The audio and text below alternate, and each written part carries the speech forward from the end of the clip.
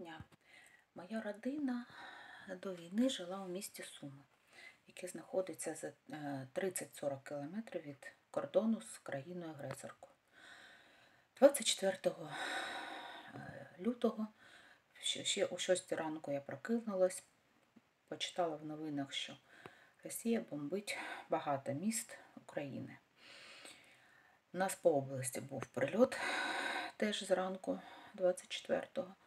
У нас на той час з мужем був вже план, бо вже декілька місяців до того казали, що таке можливо бути.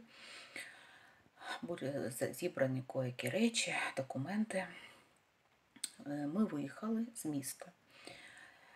Дуже добре, що виїхали зранку, бо в обід вже не можна було виїхати. По області біля Сум вже стояли кордони, е, блокпости російські з технікою, БТРи, танки. Ми їхали в нікуди, їхали на захід України.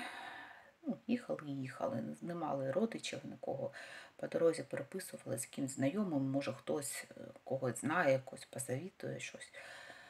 Е, Проїжджали Черкаську область Умань, був підрив моста.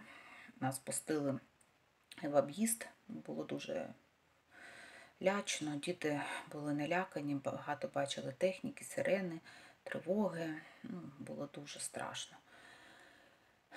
Ну, нам пощастило, знайшли ми знайомого в Тернопільській області, який нас зустрів, маленьке місто Кременець. Ми 4 місяці там прожили. Потім ми переїхали в Івано-Франківськ, бо у нас двоє дітей, одна е, двійнята, 9 років, дівчинка і хлопчик.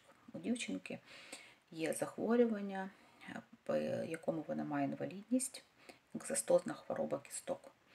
Вона невіліковна, ну треба наглядати, можливо, знадобиться робити операції, поки спостерігаємо.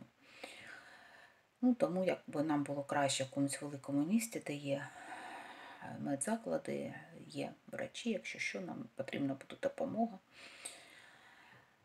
Ми переїхали в Івано-Франківськ, знімаємо житло, трохи звикли вже тут.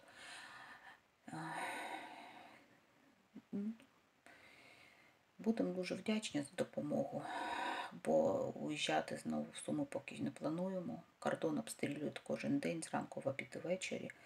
Світла опалення там немає. Тут якби теж от зараз немає світла, теж перебої зі світлом.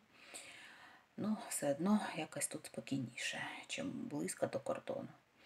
Тому будемо дуже вдячні, якщо ви нам допоможете.